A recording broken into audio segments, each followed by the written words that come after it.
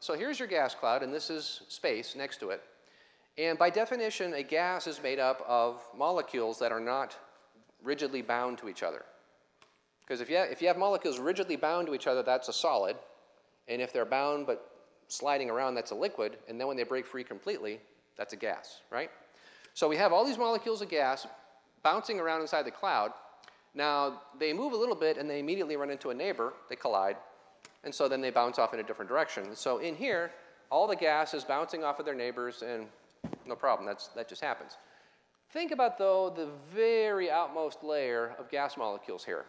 Now, since they're all going in random directions, half of them will be going in some direction that's inward, whether straight in or over here or over here, or whatever.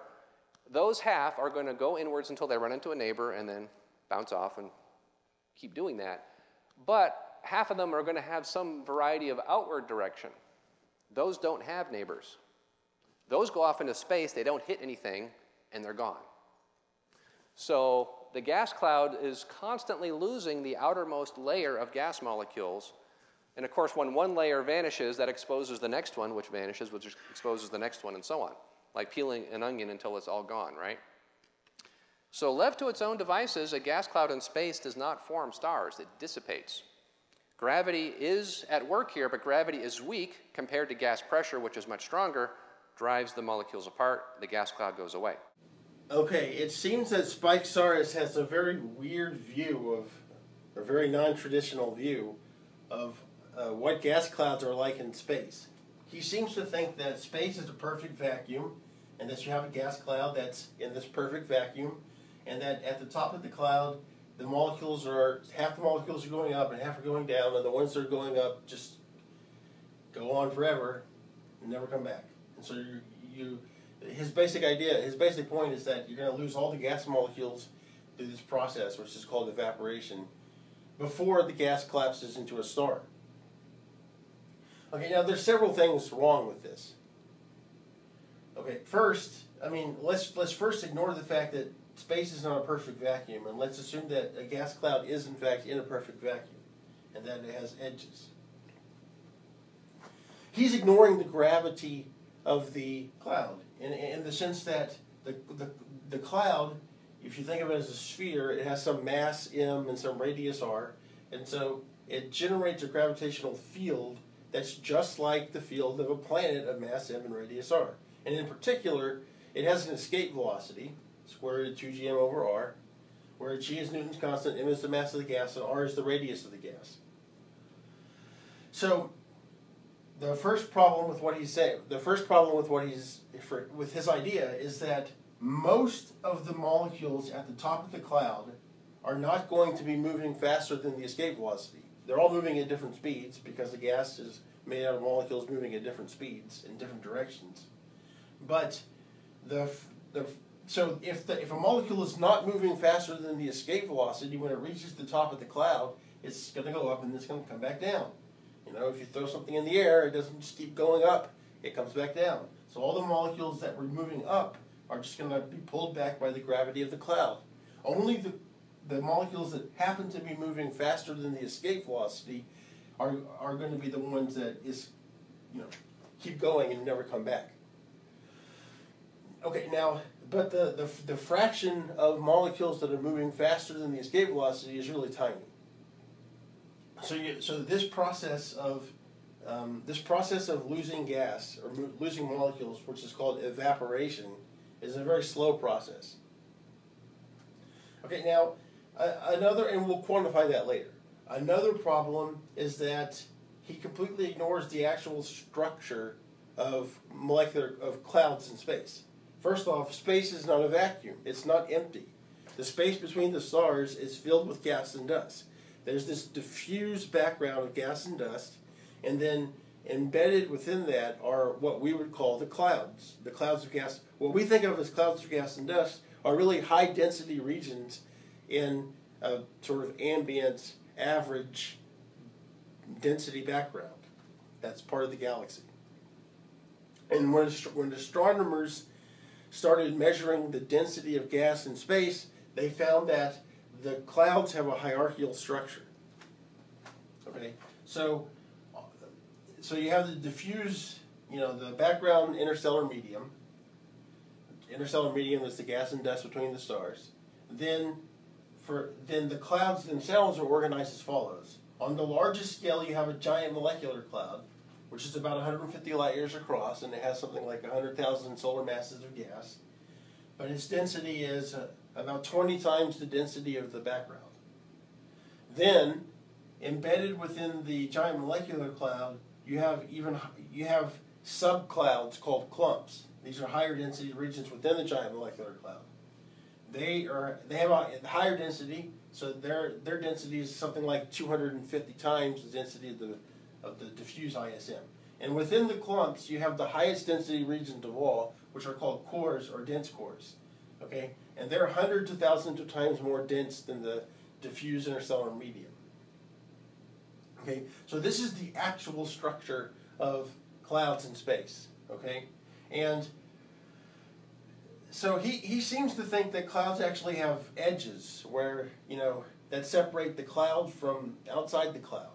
And you know maybe it's because we draw them with edges because we have to.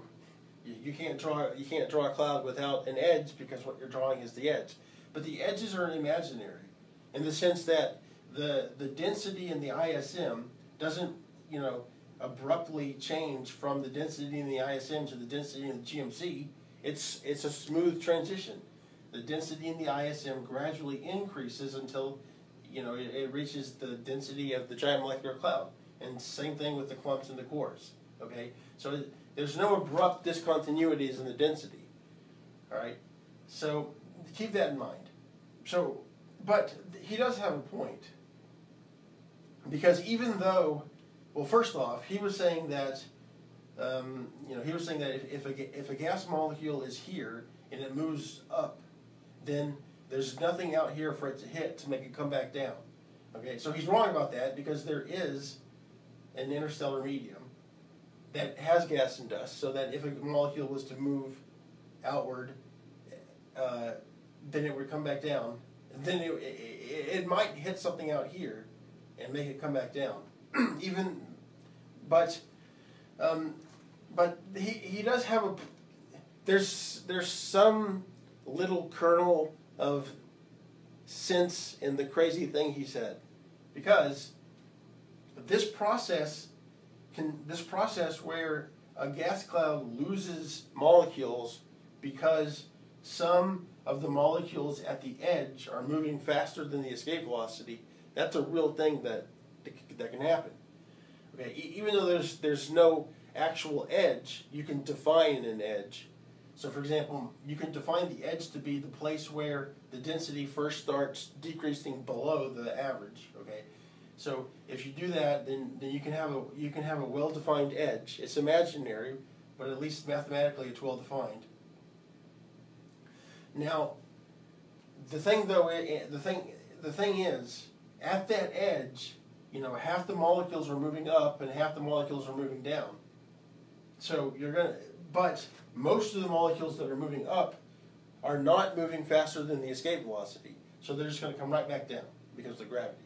And and even the ones that are moving faster than the escape velocity, they might hit one of the atoms and molecules out here and be forced back, but they might not because they could hit, you know, they could hit it and go off in some other direction. So the the fact that there is some tiny fraction of the molecules that are moving faster than the escape velocity, it does mean that over time the cloud is losing mass by this process. Okay, but it's it's a very slow process because mostly because there's just not that many atoms and molecules in the gas that are moving faster than the escape velocity. Okay, now we can quantify how, how important this evaporation process is by calculating the time it would take the cloud to completely evaporate, or the time scale over which evaporation removes a significant mass from the clouds. And each of these clouds, the GMC, the clump, and the core, will have their own evaporation times because they have their own densities and stuff. All right, now I have derived the formula for the evaporation time of a cloud in terms of, you know, its uh, basic properties of the um, gas cloud, like mass, radius, density, whatever. Okay, I can't derive it in this video. It, involves calculus, but I will make a supplementary video where I justify this. Okay, now, and there's also a formula for escape velocity, which, which you know, that's just a basic formula. You, could you could calculate the escape velocity at the edge of any of these objects by plugging in the mass of the object, which comes from here, and the radius of the object, which I put here. And by the way, I got these numbers from a textbook, from, uh, from a textbook called The Formation of Stars. And I know that not everyone's going to have access to the textbook, so I, I um, in the description part, I included a link to an annual review paper called Theory of Star Formation, where most of this is taken from. And so if you want, you can probably get these numbers from that. You can definitely get most of this discussion from that paper. Okay? And if for those of you that have access to the textbook, these numbers, uh, each of these structures, the molecular cloud, the clump, and the core, and the diffuse ISM, the I took their properties from the textbook. So the, the mass density, the um, total mass, radius, and then I calculated the escape velocity with that formula. Okay, now let's talk about this, this thing here. So I derived the formula for the time it would take, a, the time scale over which a significant mass of these objects is lost in terms uh, due to this evaporation effect, and that's there. now, so then I so uh, I should say something about so this most of most of these variables are about the um, the overall properties of the cloud. Okay, so like the density of the cloud, the radius of the cloud, capital R, capital M is the mass of the cloud. Okay, Boltzmann's constant is K sub B, Newton's constant is G. Uh, but also uh, important in, in this case is the lowercase m is the mass per molecule in the cloud, which I took to be uh, 2.4 hydrogen masses, which comes from the textbook. And then also the radius of the molecules, A comes in this formula for the, evaporation, and I use this number here. So if you if you take this formula and then you plug in the, the values, then you can calculate the evaporation time for each of these structures, giant molecular cloud, clump, and core. And I put them here. And the first thing you'll notice is that these numbers are ridiculous. Okay, this is the evaporation time in seconds. So like for a GMC, the evaporation time is uh, basically 10 to the 164. And for a clump, it's 10 to the 27 seconds and then for a core it's 10 to the 29 seconds. So these are enormously long time spans. Okay, the age of the universe is something like 10, 4 times 10 to the 17 seconds. So this is, these are billions, tens of billions of times, these evaporation time scales are tens of billions of times longer than the age of the universe. But that's not what we're supposed to compare it to. Because what Spike is saying is, Spike is saying that this prevents star formation. The evaporation prevents star formation. And that would only be true if the formation, it, well, basically, it would only be true if the evaporation took place before the star formation. Or, in other words, mathematically, if the time scale for evaporation is less than the time scale for star formation, then the gas will have evaporated before you can make a star. But if it's the other way around, if the time scale on which gravity compresses the gas into a star is less than the time scale that evaporation takes place on, then the gas will have collapsed into a star before it evaporated. And what astronomers usually use for the star formation time is the free fall time.